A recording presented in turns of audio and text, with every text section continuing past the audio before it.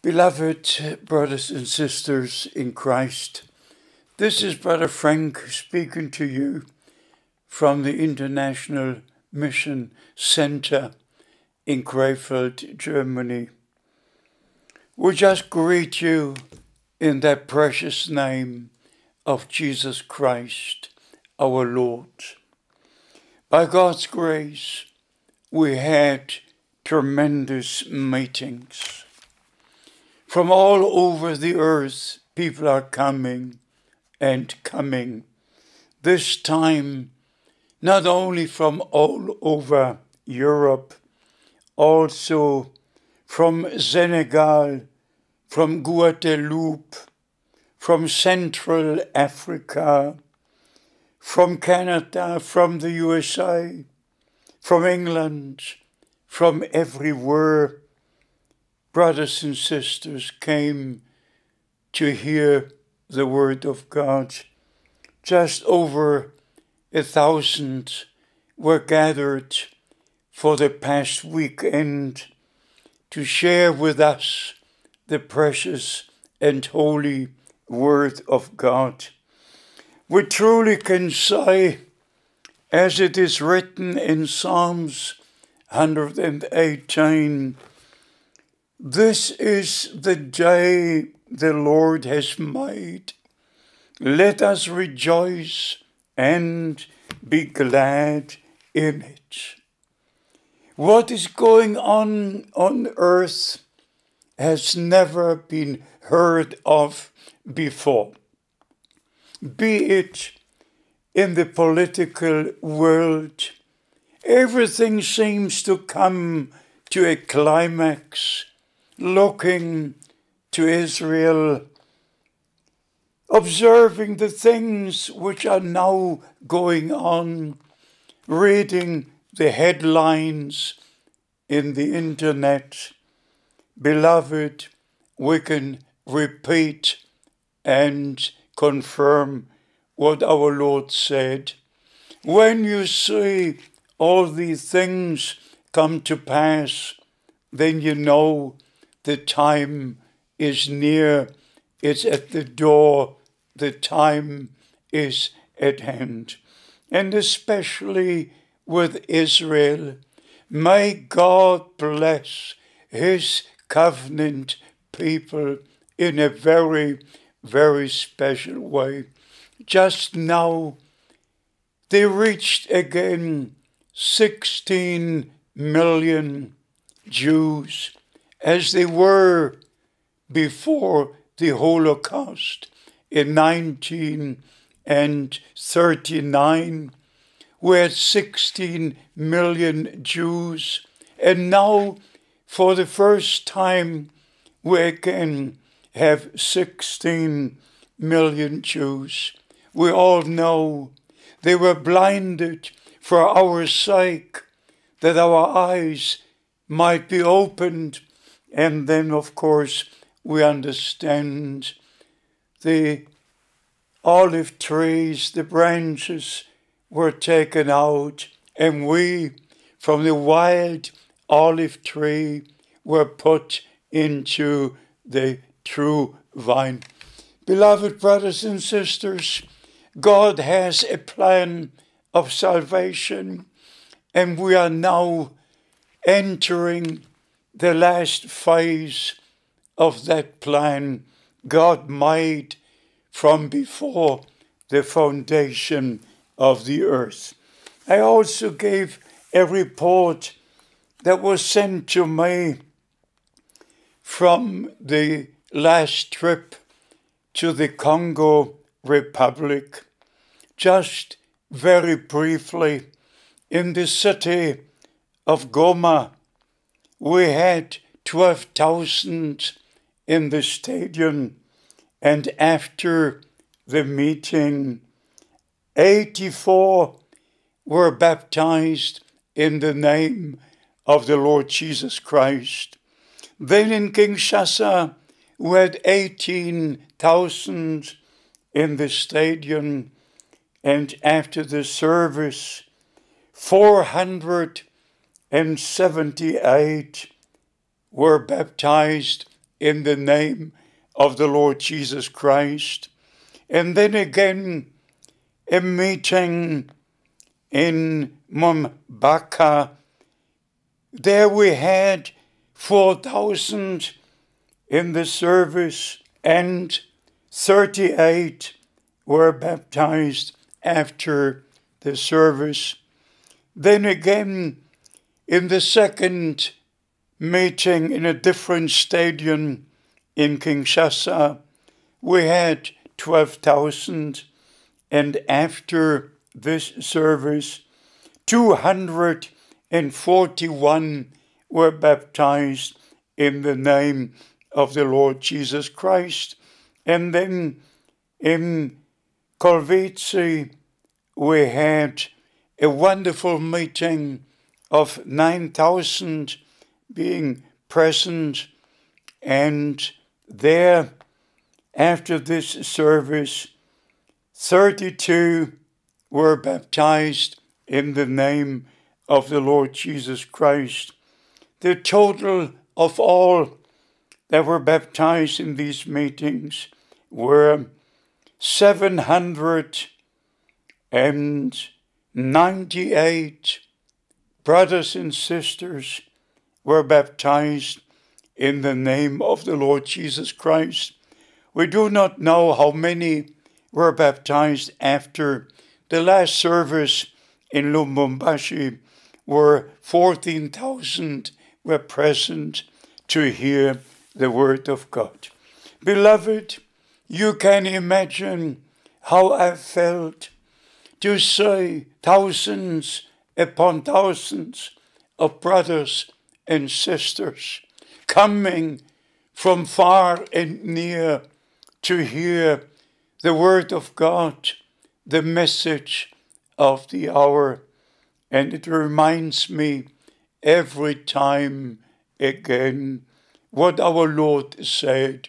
This gospel, this full gospel, including every promise, including everything that God promised in His Word, should be shared with all nations, and then the end shall be. Even when Brother Branham was given the very special divine commission. I just read a part of it. People were fainting, falling, and a voice came that shook all around the place there and said, as John the Baptist was sent to forerun the first coming of Christ, the message that is given to you will be a forerunner of the second coming of Christ. Not that I would be a forerunner, but the message was the forerunner. Beloved, this we do see fulfilled. How grateful am I, an eyewitness, an ear witness. I knew Brother Branham for 10 years. I came to know about his ministry, especially in 1955, in 1958, in 1962 at all these occasions when I met Brother Branham and was in his meetings, in his home, driving with him in the same car, having the divine revelation by God's grace to recognize the man sent from God with the word of God for our day and time. He was the fulfillment of Malachi 4, where our Lord Himself said, I will send you, I, I, the Lord, will send you Elijah the prophet to restore all things, to turn the hearts of the children back to the fathers. And there, Brother Branham, a number of times made the statement now we are being turned back to the apostolic fathers, to the Word of God, to the apostolic teachings, the same Lord, the same faith, the same baptism. Everything is being restored. And our Lord confirmed this promise in the New Testament in Matthew 17 11. Elijah truly shall first come and restore all things. What does restore mean? Even there, Brother Branham said, to be placed back into its original position, not to start a new religion, not to start new teachings, but to bring us back to God, to His Word, which only His Word remains forever. And only if we are in the Word of God, we can be in the message of the hour. And if we are in the message of the hour, we are in the Word of God. God is never outside of His Word, not one time. And every doctrine that is not in the Word of God is outside the Word, outside the will of God, is a wrong teaching, and is misleading the people.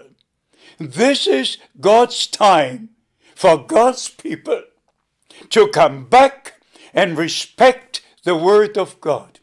Beloved, I have to say this because of my responsibility before God Almighty. And Brother William Branham, God's servant and prophet, confirmed the divine call Brother Frank received on April the second from the voice of the Lord God Almighty Himself. And on December the 3rd, 1962, Brother Branham repeated word for word the Lord had spoken to me in the German language, and he repeated in the English language what the Lord had spoken. Beloved, too many have closed the Bible and are just using statements after statements, taking out of context what the prophet said, and giving the impression to the people that this is what the prophet said. But they've taken it out of context. And this is the big problem. I'm always grateful to the Lord for the respect that He gave me towards the Word, towards the call He gave to William Branham. And beloved, I say this before God Almighty. No one ever had a ministry like William Branham. Only the Lord Jesus Christ a Son of Man. The same ministry our Lord had when he walked on the face of the earth. The same ministry repeated before my very eyes. I saw it in Germany. I saw it in the USA. But by the grace of God, I can place it within the Holy Scriptures. Please remember this. God is never outside of His Word. God is only in His Word. And He does all things according to His Word. And if you don't have a direct call to the ministry, you should shut up. Only if you do have a call directly from the Lord, you are in His service. Otherwise, you are in your own service. And that is why so many divisions and so many branches and so many different churches and fellowships are in the same city and same area because everybody is pastor and everybody and everybody. Beloved, this time is almost over. Now the Lord, now the Lord is about to finish his redemption work. It will be 50 years in December since the Lord took his prophet home, and we are under great expectation. Nobody knows the day or the hour of the coming of the Lord, but we all understand the message has reached the ends of the earth. The ends of the earth. And from the 192 countries which exchange diplomatic relations with each other, we are now serving 172 countries with the Word of God, with the fresh manna by the grace of God, and the rest are now being reached. Our brother Michael has given us the wonderful report that last Saturday at 16 hours, the first sermon was preached in Pakistan, and all the area now will hear every Saturday the Word of God, and the rest is now being called. And when the last one has come in, then the Lord will come to take us home. May the blessings of Almighty God rest upon you in Jesus' holy name. Amen.